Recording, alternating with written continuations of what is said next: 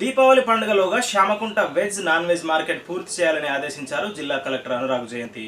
ఈరోజు వేములవాడ పట్టణంలో జరుగుతున్న పలు అభివృద్ధి పనుల పురోగతిని మున్సిపల్ చైర్పర్సన్ రామతీర్థపు మాధవితో కలిసి జిల్లా కలెక్టర్ పరిశీలించారు.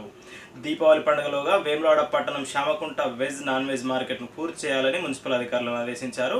స్వచ్ఛ సర్వేక్షణ్ రెండు వేల ఇరవై రెండు అవార్డుకు వేములవాడ పట్టణం ఎంపికవడం పట్ల మున్సిపల్ చైర్పర్సన్ రామతీర్థపు మాధవిని జిల్లా కలెక్టర్ అభినందించారు. ఇదే స్ఫూర్తితో రానున్న రోజుల్లో మంచి పనితీరుతో మరెన్నో అవార్డులు పొందాలని అన్నారు కలెక్టర్. ఆయన వెంట ప్రజారోగ్య విభాగం కార్యనిర్వాహక ఇంజనీర్ సంపత్ రావు తదితరులు పాల్గొన్నారు.